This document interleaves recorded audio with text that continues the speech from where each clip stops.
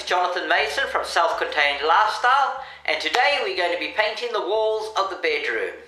We finished the ceiling, we painted it white and it is beautiful. The lights are really bouncing off and making things beautiful. But the walls we're going to be painting magnolia.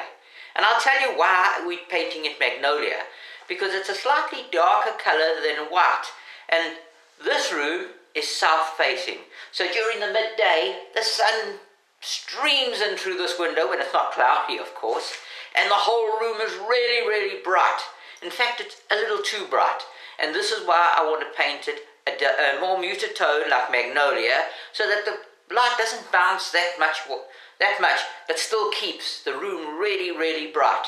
And the first step towards painting the wall is cutting in. But before we can do the cutting in, we must mask off the areas we don't want painted.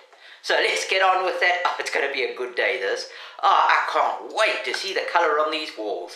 It's going to be beautiful. Okay, let's get to it.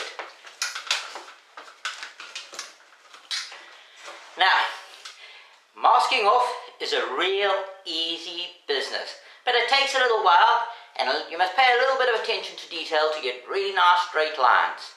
So all we do, we tear off a piece of tape, now, for me, it's about, I don't know, three, me uh, three feet. It's about as far as I manage. I'm a small guy, so my arm span isn't that wide. You just tear off a piece like this, and now we're going to place it on the roof, on the ceiling, because that's the part we don't want to get painted. Now, you must be careful that when you put it, that we get a nice straight edge with the masking tape. That's where you have to pay attention to the detail. So let me show you how this one goes.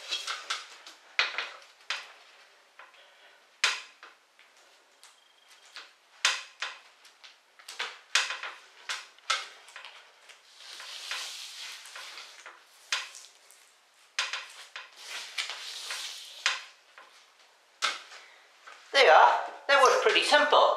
Now, all I have to do is do the whole room, plus the window frame, and also the light switch fitting. The rest, which I'm going to be painting oil, I'm not going to worry about it. I'll do the cutting in during that time. Okay, when I've finished all this, I'll see you then. Okay, the masking is done. There was a little bit of a problem on the PVC where the masking tape wouldn't stick. So I had to get a little bit of alcohol on a cloth and rub it down to make it dust free. Then the masking tape stuck fine. Now the job is to cut in along the edges. And I'm going to be using exactly the same stuff I did before. A small brush, a small pan full of magnolia paint, like over here. So let's begin to the cutting in. Okay, I've got my pan and I've got my brush and it's loaded with paint. Now we just have to start cutting in to the edges. Be very gentle. Try not to go underneath the masking tape. Just paint over it nice and softly.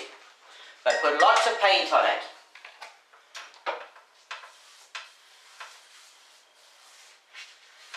There we are. That's going to go in. Ah, oh, and it's going to look nice. It is really going to look nice. Now, be aware that when this paint dries, it will get a little lighter and it'll come out in all its glory. So we just paint over. Just like this. In the corners, the same thing. Go up and down. Now, when you're putting it on, try not to overdo it. But also, like we did before, go about five inches away from the edge, just so the roller can fit comfortably in to the to the corner without making any damage. Because here you want to be very, very careful.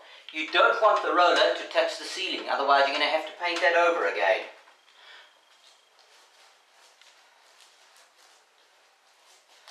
Now, this will need a couple of coats. So, we're just going to put the coats on. Okay, there's quite a bit of work here to do. Let me finish up here and I'll be back with you. Okay, now that I've cut in around all the edges, I've got to remove the masking tape. And now one thing about masking tape that hardly anybody tells you is that the longer you leave it on, the stickier it gets because it gets moist and then it becomes really, really sticky. So it's a good idea that as soon as you finish your painting, take the masking tape off because I've left lots of room for the paintbrush to get in between. I don't need to get up there again. Even if I have to put a second coat on, I've got a solid line in there, it shouldn't be a problem. So the sooner I get the masking tape off, the better for all of us because then I won't have to paint the ceiling again. So let's get to removing the masking tape. Okay, now when we remove the masking tape, we'll take a little edge where we've joined it. Remember, we've only put it in on about three foot lengths. Sometimes they've been shorter. And we just pull away gently away from where it's painted. There we are, like this. And it leaves a beautiful straight line all the way. There we go. And now we just need to remove all of it and I'll be back with you as soon as I've finished. See you then. Well, I've finished removing all the masking tape and now is the exciting time where I get to paint the whole wall, blocking all that colour and let's transform this room into something that's beautiful. At the end of this painting, the walls that is, we'll have a good idea of exactly what the room is going to be about.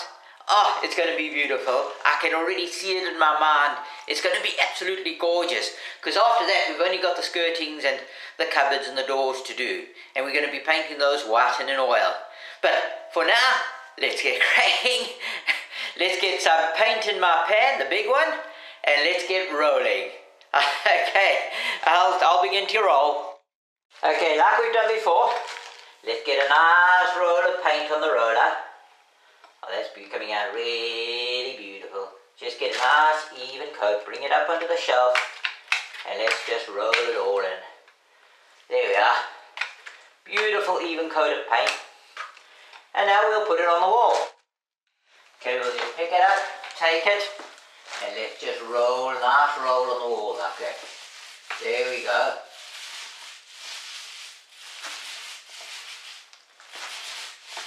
There we go. Now, remember I told you that some people say you must paint in W's and all that sort of stuff? Well, this is what they mean. I'll show you now. Just let me get some more paint. This is what they mean. You go down like that, you go up like that. You go down like that and you go up like that. You go down like that and you go up like that. It's a natural thing to do um, to get round, but I'm just going to be putting this paint on because I've got some really awkward angles because I've got a big double bed in the middle of the room that I have to keep moving around and I have to paint in sharp areas. But as you can see, the paint goes on really, really nicely. Try and put a nice thick coat on. Be careful not to hit the ceiling or not to go too close to the walls. And I'll see you after I've painted this. Well, I've finished painting the walls. I've only put the first coat on. I know I'm going to need another one, maybe two more. But wow, doesn't this room look beautiful? It's really brought out the light in this room. Now we've been living in a cloud of mist here for the last, oh, I don't know, about two weeks. So it's been very dull and grey and, you know, drizzly the whole time. And it's been cold, as you can see from my equipment. I'm not in short sleeves or anything, I'm wrapped up quite warm. So the paint is not drying very well. It's taking a really long time. So I'm going to now go down and switch the central heating on because the heat will cause more warmth and the paint will dry out quicker. And then I can put the rest of the two paint, uh, coats of paint on. Now, it's going to take a little while. So after that I'm going to be doing the, the skirtings and the cupboards and the doors. I'm going to be painting them white.